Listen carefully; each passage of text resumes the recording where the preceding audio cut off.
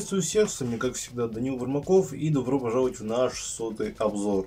Никогда бы не подумал, что мы когда-нибудь дойдем до сотого юбилейного выпуска, за что я благодарю каждого из вас, кто подписан на этот канал, кто нас смотрит и кто очень заинтересован в нашем проекте и жаждет новых обзоров. Мы это очень ценим. И в честь сотого обзора я хотел бы рассказать о том, как я познакомился с андроидом, какой у меня был вообще самый первый андроид жизни. Самый первый смартфон на андроиде у меня появился только в 2014 году. Мне его подарили на мое десятилетие, на мое день рождения. Телефон, конечно, мне мать подарила не самый крутой, но мне он очень нравился в свое время. И имя ему было Arc. Что, давно не слышали об этой марке? Когда-то они были очень актуальны, как наравне с хайскрином или как вот Xiaomi сегодня. Но пропали с полок так же резко, как они резко и появились. Теперь это чистая история.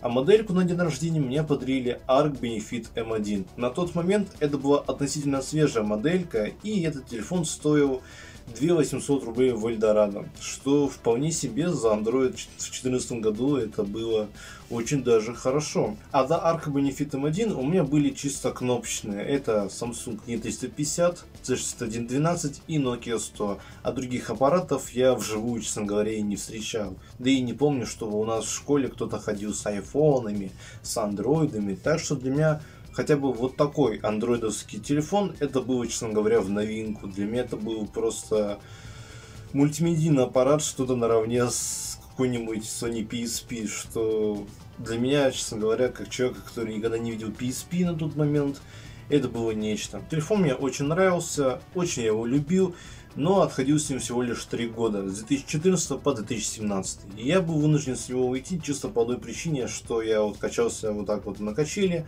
в руке был телефон, он у меня с рук вылетел и упал в щебенку экраном вниз, из-за чего сенсор разбился, я плакал, и мне мать на ДР подарила другой телефон. Но об этом как-нибудь в следующий раз. Год назад мой хороший друг Женя помог мне заменить на нем сенсор, и, как вы видите, работает отлично работает. И, естественно, не буду затягивать начало видео, давайте же мы перейдем к самому аппарату. Вот и сам гость сегодняшнего обзора. Да, выглядит достаточно самобытно, достаточно типичный китайский андроид того времени, копеечный, но в нем есть что-то вот очень особенное, очень крутое. Поставлялся аппарат вот в такой вот коробочке, тоже достаточно, ну, не самая дизайнерская, но все по делу. Вот функционал, вот сам телефон. Вот еще тут расписан, типа 2 мегапикселя, все остальное. И сверху там же наклеечка с IMA.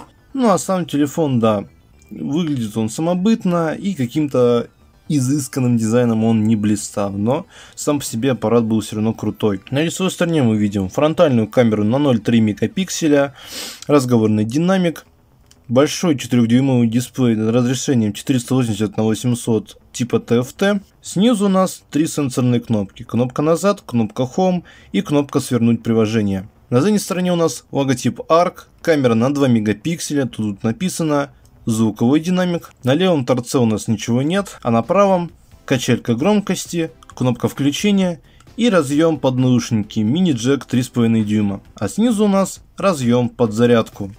Сверху у нас также ничего нет. А что вы хотели? Все как надо. Телефон за 2800 рублей. Что же, давайте мы его с вами включим. Видим заставочку ARC.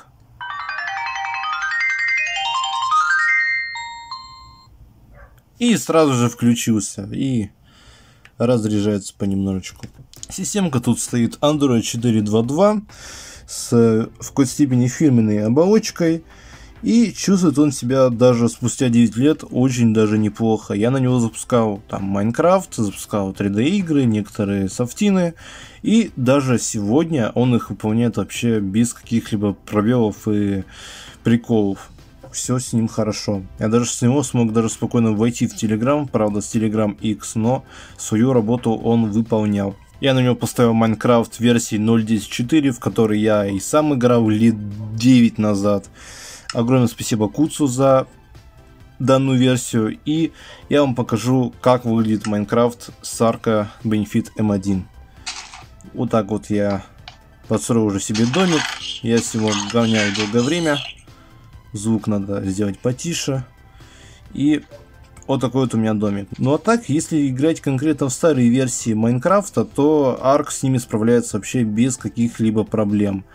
Ему хорошо. Мало, наверное, кто вспомнит эту классическую игрушку, но также на андроиды поставляли порт Sumatori Dreams. По большей части это видео, наверное, будет сколько не о том, насколько телефон хороший и стоит ли его покупать в коллекцию, а сколько о том, с чем я имел дело лет 9 назад и что у меня было, пока у всех были Galaxy, были тогдашние Lenovo и тому подобное. Для тех, кто не знает, что это за игра и про что она, то я поясняю. Sumatori Dreams это игра про сумоистов, где ваша главная цель это просто толкнуть противника так, чтобы тот упал, и в итоге, если вы устоите на своих ногах, то вы победитель. В, в этом случае я проиграл. Ну, игра довольно веселая. Эту игру, наверное, точно никто не знает. Это игра, которую создал Липтон много лет назад. Это Cool Cubes, суть которой в том, что вам надо пнуть кубик льда до стакана с чаем, чтобы он охладил напиток. И ему надо пройти множество препятствий, чтобы попасть в стакан с завитным напитком. Естественно, игра 3D-шная, и она работает вот таким образом. И желательно еще вот эти лимонные лаймы собирать, чтобы вот больше очков было.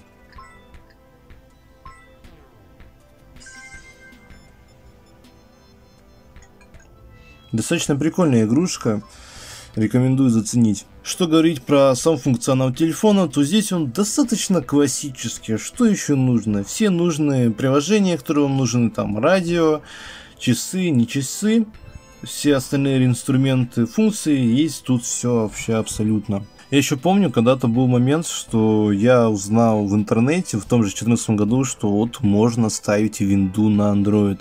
Вы понимаете, как у меня был отвал башки, когда я узнал, что типа, а что так можно было сделать? И, естественно, я побежал скачивать бочес, на котором я все это и творил. И, несмотря на свои характеристики, телефон спокойно справляется с эмуляцией Windows. Правда, я уже не вспомню, что за Windows здесь ставил. Это, по-моему, либо Windows XP, либо Windows 98, но, по-моему, что-то древнее. А, а Windows NT 4.0 наставил. Это, кстати, одна из самых моих любимых версий Windows, которая вот была в 90-е. Но в любом случае, темка с Botches здесь работает, и это очень хорошо. Камера здесь на 2 мегапикселя, очень сильно, сколько не мылит, сколько делает картинки в стиле картина маслом, и делает фотографии, ну, достаточно дефолтно для своего времени. А что еще хотели от телефона за 2800 рублей? А в плане видосов он снимает их в формате 3GP и такая же картина массом, как и фотография. Ну, этого было вполне себе достаточно, чтобы сфотографировать документы и сфотографировать там что-то важное. Вот так снимает арку Ефит М1. Вот такое качество. Всем привет. Можно суммировать еще, кстати. Можно еще какую-то херню делать. Камера, конечно, картина массом. Ну а что говорить про характеристики, они здесь довольно устарели. Встроенной памяти здесь 512 мегабайт и оперативной 256. Для каких-то там стандартных задач по типу позвонить, зайти в интернет или во что-то поиграть вполне себе достаточно с лихвой. Но при этом память можно увеличить картой памяти аж до 32 гигабайт, что для такого мелкого телефона по такой цене это очень хороший бонус. Поддерживает достаточно старую связь, а именно 2G Edge, но есть поддержка Wi-Fi, что с него в интернет можно и выйти. Ну и аккумулятор здесь на 1400 мАч. Я здесь поставил 0 АКБ, потому что родной давно сдулся, и мне его хватает на недельку вообще с лихвой, и может спокойно продержаться. С него, наверное, еще можно кому-то позвонить, но чтобы прям полноценно им пользоваться, мне кажется, у вас не получится, потому что телефон, вот он настолько устаревший со временем. Ну и разумеется, здесь стоит процессор MediaTek MT6572 на 1300 МГц, который в своей операции выполняет вообще без всяких проблем. Но, сами понимаете, телефон устаревший, на нем вот прям какой-нибудь Brawl Stars вы не запустите. Также существует и 3G версия данного аппарата, но эта версия выйдет чуток позднее обычного. Что могу сказать в итоге? На свой DR я получил довольно неубиваемую звонилку. А ведь что с ним только не было. Он и падал на кафель кучу раз, и на бетон, и даже в ведро с водой падал ему вообще насрать. И работает так же прекрасно, как с магазина, чем он меня и приятно удивлял. Для меня это первое мультимедийное устройство, с которым я мог сделать больше интересных вещей, нежели на каком-нибудь C6112. А главное, я для себя открыл мир тогда популярных игрушек, в том числе и FNAF больших возможностей с Android и в целом познакомился с зеленым роботом поближе. И с тех пор аппарат храню как историю, ведь именно с этого момента я стал юзером Android. Это видео назвать обзором довольно таки сложно, скорее просто решил в такой юбилей поделиться своим знакомством с Android и что из себя представляли дешевый Android до прихода Xiaomi, Honor, Realme и иных брендов. А брать ли его в коллекцию на ваше усмотрение. Как по мне, аппарат не для всех по вкусу, потому что для большинства массовых людей это, ну, просто обычный китайский Android, очень дешевый, что с него взять. А на этом, я думаю, можно закончить видос. Всем спасибо, что досмотрели это видео до конца. С вами был Данил Бурмаков. Я надеюсь, что вам такого рода видео очень понравилось. Подписывайтесь на нас в Телеграме и на Ютубе, ставьте лайки, пишите в комментариях, был ли у вас такой аппарат и был ли у вас вообще именно по похожий аппарат, потому что именно M1, мне кажется, не у всех был. И какой у вас был самый первый Android телефон вообще в жизни. А на этом я не прощаюсь. Всем удачи и до скорых встреч!